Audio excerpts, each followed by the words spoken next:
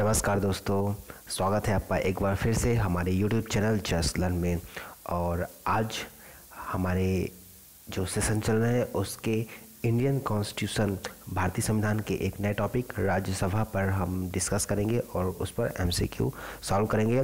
Last session में हमने लोकसभा पर जो भी आपके प्रश्न बन सकते हैं या जो भी हमसे डिस्कशन हुआ, हमने आपसे की और डेफिनेटली आप लोगों को समझ में आया होगा। तो चलिए आज राज्यसभा के जो एम है उस पर बात करते हैं और चर्चा करते हैं। तो स्टार्ट करने से पहले इसके एम मैं थोड़ा राज्यसभा के बारे में आप सभी को बताना, देना चाहता हूँ कि राज्यसभा, यानी जो हमारा, हमारी जो संसद है, उसका अपर हाउस कहलाता है, उच्च सदन बोलते हैं इसको, और इसका जो पहली बार गठन किया गया था, वो 1952 में किया गया था। ये भी मैं आपको ओरली बता दूँ कि जो राज्यसभा है 1952 में पहली बार गठित की गई थी, और पहली बैठक 1952 में ही मई में की गई थी। यानी जो इसका गठन हुआ था, अप्रैल में होता और मई में इस पर जो पहली बैठक वो की गई थी। तो राज्यसभा को राज्यसभा 1954 से बुलाया जाता है। ध्यान रखिएगा 1954 में राज्यसभा और लोकसभा का दोनों जो वर्तमान नाम है, वो पड़ा है। पहले लोकसभा को हाउस ऑफ़ पीपल बोला जाता था और राज्यसभा को किसी और नाम से जाना जाता था, ठीक है? तो वो सब ज़रूरी नहीं है, बट इतना ध्यान रखिएगा कि राज्यसभा और लोकसभा को इन नामों से, जो वर्तमान लोकसभा और राज्यसभा है, वो 1954 से बोला जाता है, ठीक है? तो राज्यसभा हमारे जो हमारी संसद है, उसका अपर हाउस है। तो चलिए, अब देखते हैं एमसीक्यू कि कैसे आपके प्रश्न बन सकते हैं। पहला प्रश्न आप देख पा रहे हैं स्क्रीन पर कि भारतीय संविधान के किस अनुच्छेद के तहत राज्यसभा की संरचना का प्रावधान किया गया है? ठीक है दोस्तों, राज्यसभा की संरचना का मतलब है कि राज्यसभा में कितने सदस्य होंगे, कितने सदस्यों का मनोनयन या नॉमिनेशन राष्ट्रपति द्वारा किया जाएगा, किस क्षेत्र से होंगे, ये सब कुछ वगैरह वगैरह। तो ये संविधान के किस आर्टिकल में बताया गया है? तो आपके ऑप्शन क्या है? अनुच्छेद 79 अनुच्छेद 80 अनुच्छेद इक्यासी और अनुच्छेद बयासी। तो इसका जो सही उत्तर है, वो है बी यानी संविधान के अनुच्छेद 80 के तहत ये बताया गया है कि राज्यसभा की संरचना होगी, जिसमें कितने सदस्य होंगे या कितने मेंबर होंगे, यह सब कुछ बताया गया है। तो मोटा मोटा आपको बता देना चाहता हूँ कि जो वर्तमान में है, राज्यसभा में अधिकतम मेंबर्स जो हो सकते हैं, वो टू हो सकते हैं, लेकिन वर्तमान में 245 है। यानी अगर आपकी क्वेश्चन ऐसे बने कि सब मैक्सिमम कितने मेंबर हो सकते हैं? तो 250 और वर्तमान में, यानी करंट में कितने मेंबर हैं? तो कितने हैं? 245 तो वर्तमान में 245 है और 250 मैक्सिमम मेंबर हो सकते हैं राज्यसभा में, ठीक है? तो ये ध्यान रखिएगा। तो राज्यसभा की संरचना का जो प्रावधान या जो उल्लेख मिलता है, वो आर्टिकल 80 में मिलता है, ठीक है? इतना एक आर्टिकल याद रखें आप लोग। नेक्स्ट प्रश्न है आपका, राज्यसभा में सदस्यों की संख्या अधिकतम कितनी हो सकती है? ठीक है, ये प्रश्न जो अभी मैं कुछ देर पहले डिस्कशन किया आप लोगों से कि मैक्सिमम मेंबर कितने हो सकते हैं तो आप सब जानते हैं वर्तमान में अधिकतम संख्या सॉरी हाँ तो कितने हो सकते हैं? 250 मैक्सिमम जो मेंबर हो सकते हैं राज्यसभा में, जो हमारा अपर हाउस है सदन का, संसद का अपर हाउस है, उसमें 250 वर्तमान में 250 मेंबर्स मैक्सिमम हो सकते हैं। लेकिन वर्तमान में जो मेंबर है वो कितने हैं? 245 ये भी ध्यान रखें आप लोग, ठीक है? 245 वर्तमान में है और 250 मैक्सिमम मेंबर हो सकते हैं, ठीक है? ये भी ध्यान रखें आप लोग, जैसा क्वेश्चन आएगा उसके अनुसार करें। यानी अगर ये पूछे कि मैक्सिमम कितने हो सकते हैं तो 250 और वर्तमान में कितने हैं तो 245 ठीक है? ये याद रखिएगा। नेक्स्ट देखते हैं अगला प्रश्न आपका कि राज्यसभा का जो विघटन होता है, कौन करता है? ठीक है? यहाँ पर राज्यसभा लिखा है दैट इज़ राज्यसभा। ठीक है? इसको थोड़ा अपने दिमाग में एडिट कर लीजिएगा दैट इज़ राज्यसभा। तो राज्यसभा का विघटन कौन करता है? ऑप्शन देखते हैं, राष्ट्रपति, भारतीय निर्वाचन आयोग, सर्वोच्च न्यायालय का मुख्य न्यायाधीश और डी इनमें से कोई नहीं। तो आपको ये मैं बता दूँ कि जो राज्यसभा है, वो एक स्थायी सदन कहलाता है, ठीक है? इसका कभी भी कोई भी वेटर नहीं कर सकता ठीक है? तो जो प्रश्न है, उसके अनुसार, जो इसका आंसर होगा, वो डी होगा, इनमें से कोई नहीं। यानी जो राज्यसभा है, जो उसे कोई भी विघटित नहीं कर सकता है, चाहे वो राष्ट्रपति हो, चाहे निर्वाचन आयोग हो, चाहे सर्वोच्च न्यायालय का मुख्य न्यायाधीश हो, चाहे प्रधानमंत्री हो, कोई भी तो राज्यसभा का विघटन नहीं होता, वो एक स्थायी सदन है। ये याद रखिएगा आप लोग, ठीक है? तो राज्यसभा का विघटन कोई नहीं कर सकता। एक स्थायी सदन है।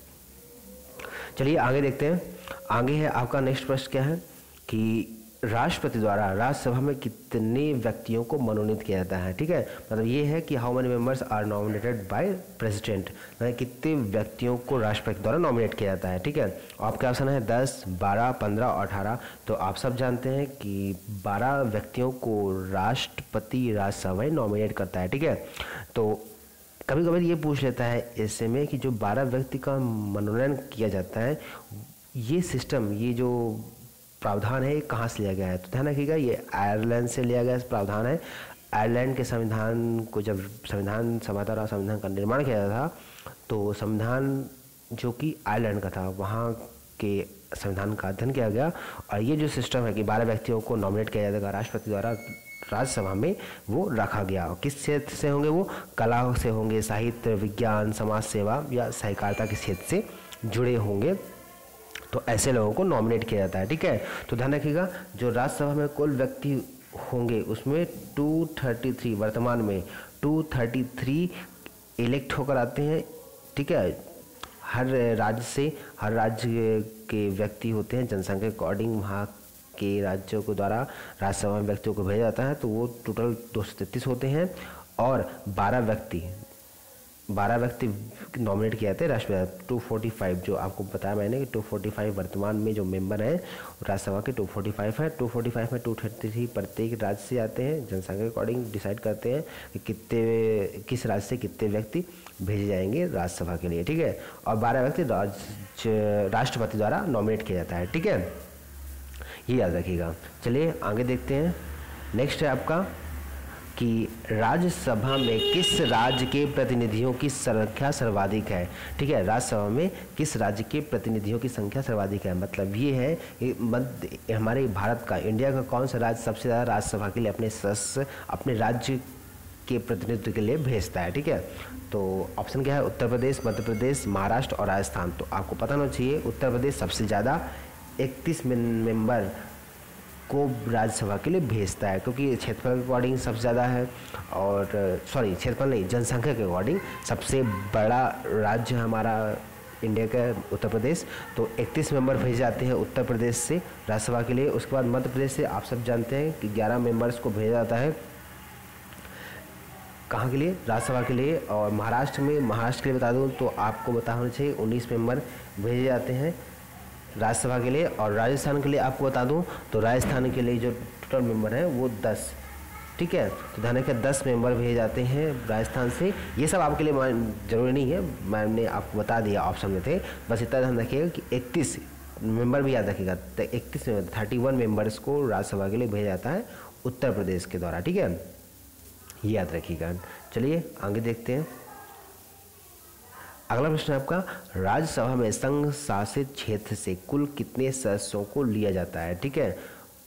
क्वेश्चन समझ में आया? मतलब जो हमारे यूनियन टेरिटरीज हैं, उनमें से कितने जो टोटल सेवन यूनियन टेरिटरीज हैं, आप सब जानते हैं। तो टोटल सात में से कितने व्यक्तियों को इन सेवन जो टेरिटरीज हैं, उनमें से राज्यसभा के लिए भेजा जाता है? ठीक है।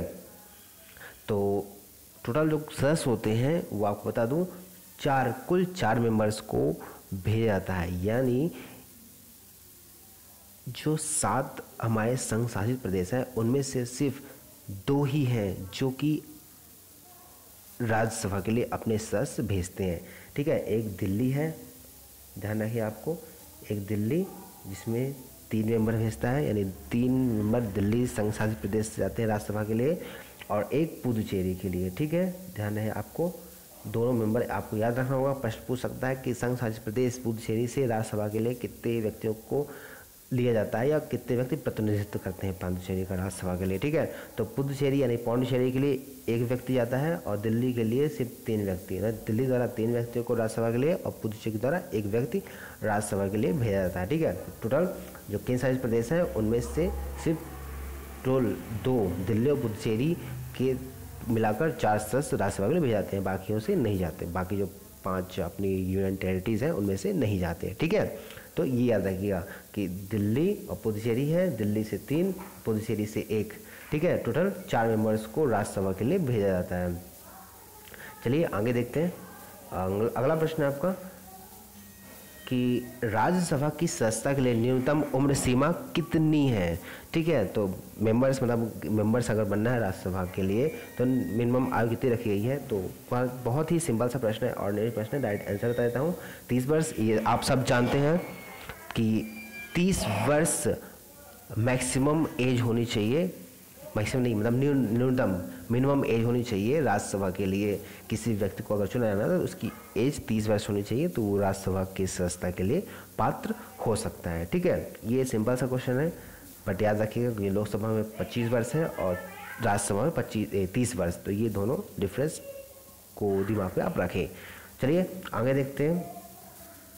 अगला प्रश्न, आप देख पा रहे हैं स्क्रीन पर कि राज्यसभा के कितने सदस्यों को दो वर्ष के बाद सेवानिवृत्त दी जाती है निबंधित किया जाता है। ठीक है? तो एक बात तो ये क्लियर हो गई कि राज्यसभा एक स्थायी सदन है। ये पहले मैं आपको डिस्कस कर चुका हूँ। दूसरा कि हर दो वर्ष बाद, एक यहाँ पर कितने वर्ष बाद सेवानिवृत्ति आती है? तो दो वर्ष बाद एक ये प्रश्न बन सकता है कि राज्यसभा के कितने सदस्यों को या कितने वर्ष के बाद, राज्यसभा कितने वर्ष बाद सेवानिवृत्ति आती है? तो दो वर्ष बाद।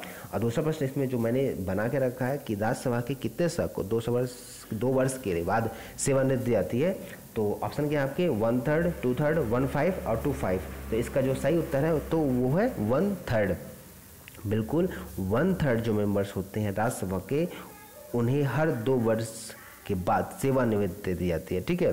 पर दो वर्ष बाद उनकी सेवानिवृत्ति, यानी उनको, क्या बोलते हैं उसे इंग्लिश में? सेवानिवृत्ति मतलब लीव कर दिया जाता है, ठीक है? हर दो वर्ष बाद, ध्यान रखिएगा। तो दो वर्ष बाद और वन थर्ड मेंबर्स सेवानिवृत्त हो जाते हैं, ठीक है? रिटायर बोलते हैं उनको इंग्लिश में, याद आ गया मेरे को बताने के लिए आपको।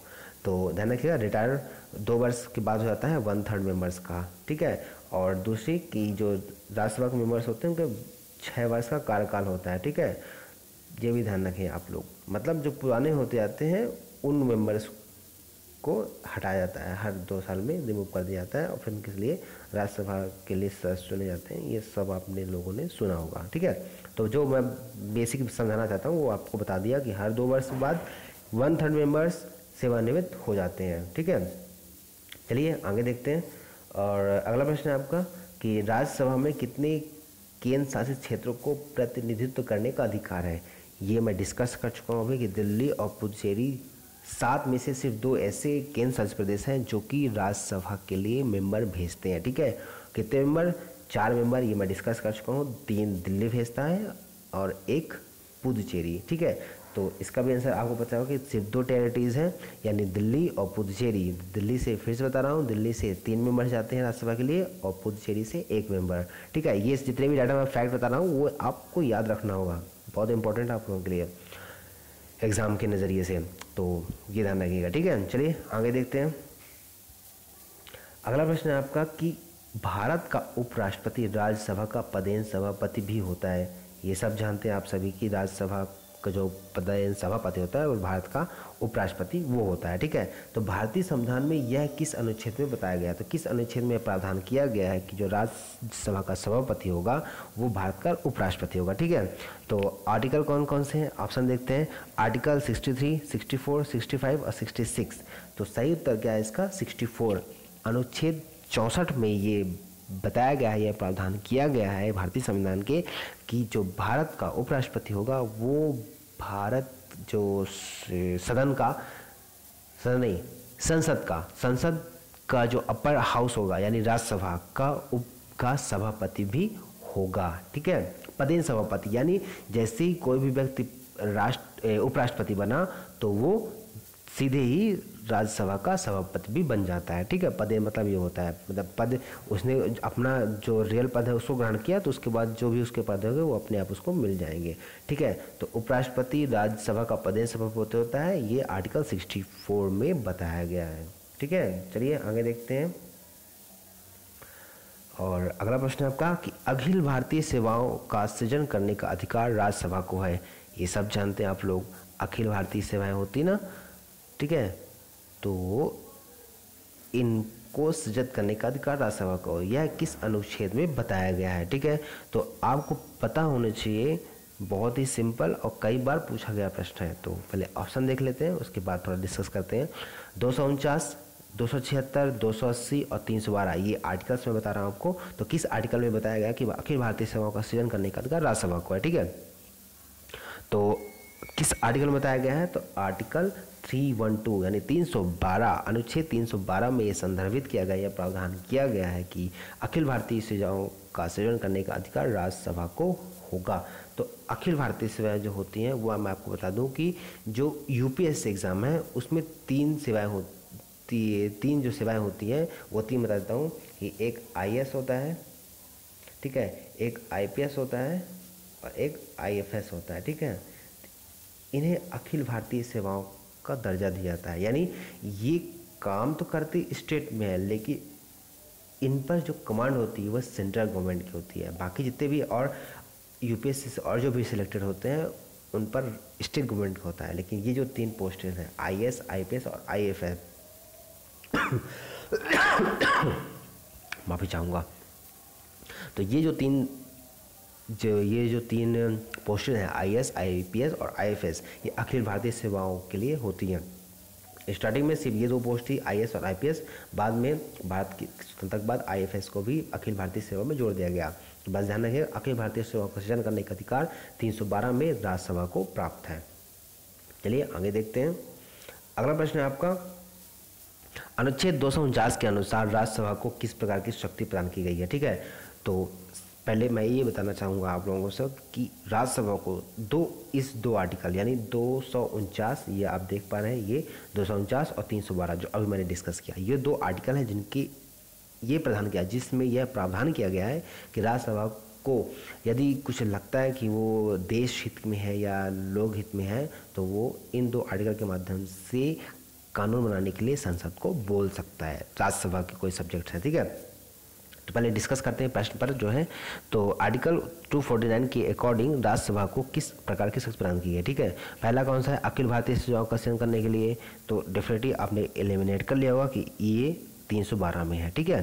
फिर दूसरा, राष्ट्रीय महत्व पर कानून बनाने की शक्ति या तीसरा, राष्ट्रीय आपात के समय बनाने की कुछ शक्ति नेशनल इमरजेंसी लगती है तो उसमें कुछ कार्य कर सकता है, ठीक है? और डी, इनमें से कोई नहीं। तो जो 249 आर्टिकल में बताया गया और नेशनल जो कुछ इम्पोर्टेंस काम राष्ट्रीय महत्व के जो कुछ मुद्दे होंगे, राज्यसभा के विषय में, राज्य से संबंधित राज्य में सूची में जो विषय हैं, और राज्यसभा को ऐसा लगता है कि इस विषय से इन विषयों पर अगर कानून बनाया जाए तो वो लोकहित में होगा तो वो संसद को बोल सकते हैं कि आप इस सब्जेक्ट पर कानून बनाएँ, ठीक है?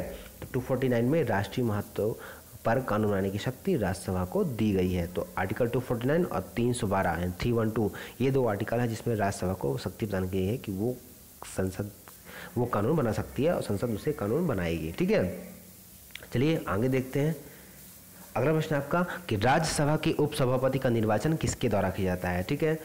अब सभापति कौन होता है ये तो बता दिया मैंने कि जो सभापति होता है वो पदेन अध्यक्ष या पदेन सभापति कहलाता है कौन? उपराष्ट्रपति। जो भारत का उपराष्ट्रपति होगा, वो पदेन, यानी जैसे अभी वेंकैया नायडू हमारे उपराष्ट्रपति हैं तो जैसे उन्होंने अपना उपराष्ट्रपति का पद ग्रहण किया तो वैसे ही वो सीधे राज्यसभा के सभापति भी बन गए।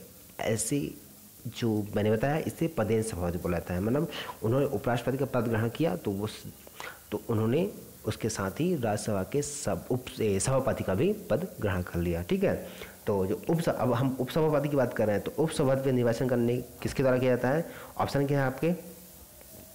राष्ट्रपति, उपराष्ट्रपति, संसद के सभी सदस्य और राज्यसभा के सदस्य। तो इसका सही उत्तर है, वो है राज्यसभा के सदस्य। ध्यान रखिएगा, राज्यसभा के सदस्य हैं, वो उप सभापति का निर्वाचन करते हैं, ठीक है? याद रखिएगा, थोड़ा सा कन्फ्यूज़न हो सकता है, ऐसा नहीं कि उपराष्ट्रपति अध्यक्ष है तो वो नॉमिनेट कर सकता है। नहीं, उसका भी निर्वाचन होता है तो कौन होता है निर्वाचन? उसके निर्वाचन मंडल में राज्यसभा के जितने भी सदस्य होते हैं, वो, ठीक है? तो उपसभापति ऐसे बना दिया जाता है। बाकी, आगे देखते हैं। तो दोस्तों, ये था हमारा राज्यसभा से जुड़े हुए जितने भी एमसीक्यू या जितने भी प्रश्न इस पर बन सकते हैं आपके लिए, वो हमने डिस्कस कर लिया। इस वीडियो को, इस सेशन को ध्यान से कर ले। आपके चल रहे एग्ज़ामों के नज़रिए से काफ़ी इंपॉर्टेंट हो सकता है। कुछ प्रश्न बन सकते हैं और जैसे भी प्रश्न बन सकते हैं, आप कर सकते हैं। और इन प्रश्नों को आपने कर लिया तो अगर इनसे हटकर भी अगर कोई प्रश्न वो घुमा कर देता है तो डेफिनेटली आप सॉल्व कर लोगे। क्योंकि इन प्रश्न को सॉल्व करने के बाद, अगर कुछ बनते भी होंगे तो आप एलिमिनेट मैंने हज़ार बार आपको बता चुका हूँ, कितनी बार बता चुका हूँ आपको कि एलिमिनेट किया करिए। जो प्रश्न ना आए, उन्हें एलिमिनेट करके आप आंसर हंड्रेड में से नाइन्टी नाइन परसेंट आप सही कर सकते हैं। ठीक है? तो इस सेशन को, इस राज्यसभा के सेशन को अच्छे से कर लें। This is sufficient to you ठीक है? तो चलिए, फिर मिलते हैं नेक्स्ट सेशन में। तब तक के लिए बाय थैंक यू